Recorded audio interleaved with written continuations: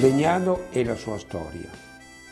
Un omicidio politico a Legnano nel 1468.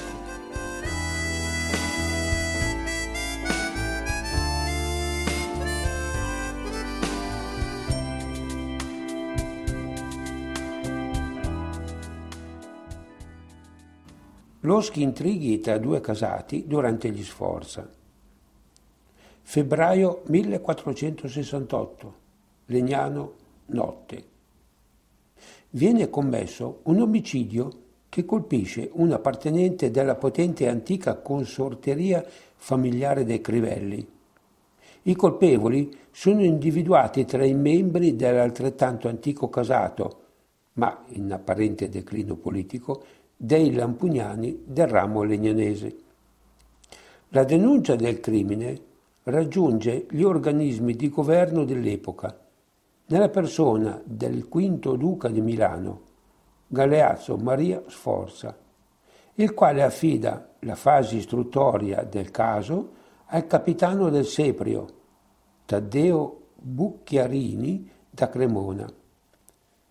Informato dell'accaduto e rientrando tra i casi di altra giustizia, in, in quanto omicidio a sfondo politico, il Consiglio segreto di Milano, che era il massimo organismo politico-amministrativo e giudiziario del regime sforzesco, decide, in parallelo al duca, di affidare le indagini al vicario generale Giovanni Battista Miccoli da Lodi.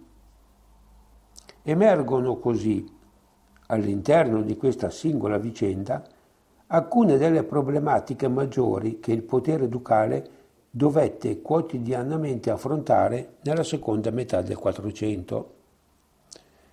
La razionalizzazione del sistema giudiziario, compromessa da una lunga tradizione di sovrapposizioni di competenze tra i vari organismi istituzionali, e da un'altrettanto radicata parcellizzazione giurisdizionale tra magistrature centrali e periferiche.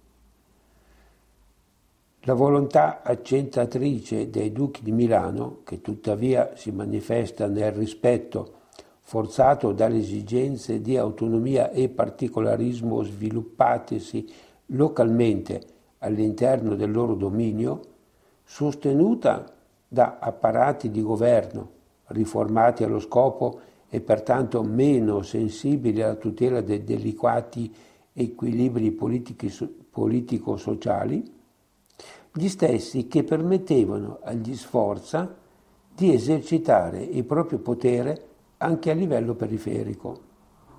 Una tensione sotterranea e forte che percorre orizzontalmente la nobiltà milanese di antica origine, coinvolta a differenti livelli nella macchina burocratica sforzesca e tuttavia incapace di superare vecchie e nuove rivalità che l'atteggiamento del duca nei loro confronti sembra avere favorito, se non addirittura esacerbato, piuttosto che sopito.